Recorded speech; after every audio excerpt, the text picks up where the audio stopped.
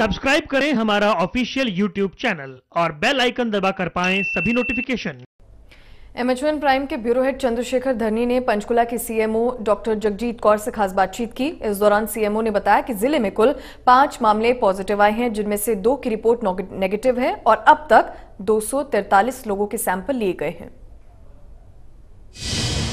पंचकुला के civil surgeon doctor Jagjit Kaur हमारे साथ मौजूद हैं, इनसे बातचीत करेंगे। मैम, इस वक्त कितने पेशेंट कोरोना से पीड़ित पंचकुला ज़िले में हैं और कितने संदिग्ध हैं? हमारे पास पाँच पॉजिटिव पेशेंट्स जो आइसोलेशन वार्ड में दाखिल हुए थे अभी तक टोटल।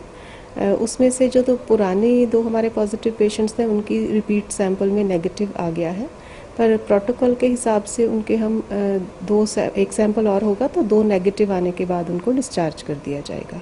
नए जो मरीज़ आए हैं पॉजिटिव वो तीन मरीज़ हमारे पास आज के दिन में दाखिल हैं।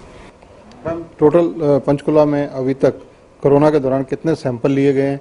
कितने अभी पेशेंट्स ऐसे हैं जो पेंडिंग हैं जिनके सैंपल लिए जा सकते हैं जो संदिग्ध है? अच्छा अभी तक हमारे टोटल सैंपल्स जो हैं वो मिला के दो सैंपल लिए गए हैं शुरू से। उसमें से 221 हमारे नेगेटिव हैं। पाँच पॉजिटिव हैं जैसे मैंने बताया।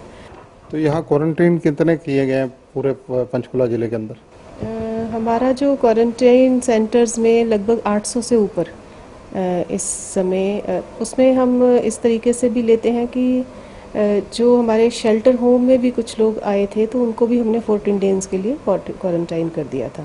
तो मैम जो आपका स्टाफ है डॉक्टर्स हैं पैरामेडिकल स्टाफ है स्टाफ नर्सिस हैं सरकार ने पीछे कहा था कि उन्हें रेड बिशप में पीडब्ल्यूडी रेस्ट हाउस या और जगह रुकने के लिए क्या वो व्यवस्था लागू हो चुकी है? अगर हो चुकी है तो उसका वर्गीकरण कैसे किया गया? डॉक्टर कहाँ रुक रहे हैं? स्टाफ को पैरा में, मेडिकल सारों का, उसकी डिटेल बता दीजिए।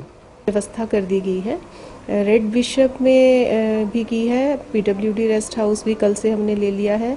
जटायु एक जो टूरिज़्म का है वो भी, और एक लक्ष्मी धर्मशाला जो माता मनसा देवी मंदिर में।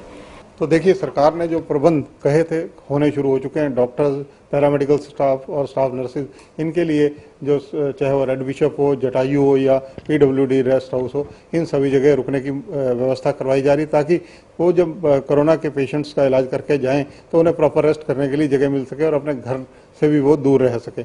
इसके अलावा जो पाँच पेशेंट्स हैं, अभी तक कुल मिलाकर यहाँ पॉजिटिव मिले हैं। पंचकुला के लिए जो जानकारियाँ मैडम ने दी हैं कैमरामैन जितेंद्र हंस के साथ Chandrashekhar Dharni M H one news Panchkula.